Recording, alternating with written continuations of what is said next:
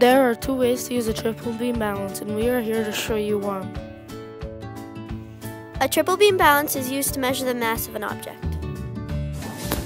Step 1. First make sure all the weights are set to zero. Then make sure the bar is set to zero. If not, use a little knob in the back to adjust it. Step 2. Place the object on the pan and adjust the weights until the bar is level with the zero.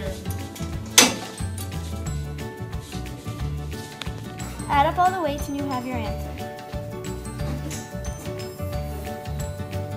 Now that you know how to use the triple balance, you can measure the mass of almost anything. Thanks for watching!